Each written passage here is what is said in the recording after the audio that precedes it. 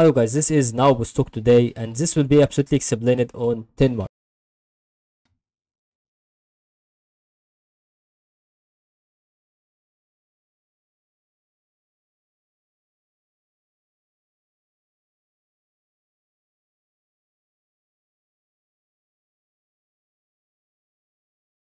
So as you can see guys, about to have the Naubo stock with a slope line indicated this by the way.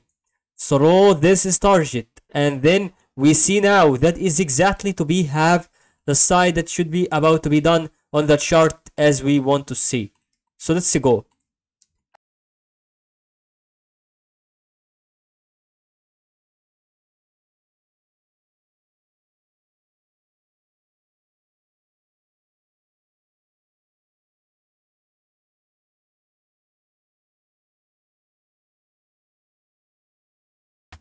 So now we see guys about to have something that is important to learn why we do it. How can this be absolutely concepted through the Sajit that should be done about its progress on the Naubo stock. So is it about to have this through my opinion.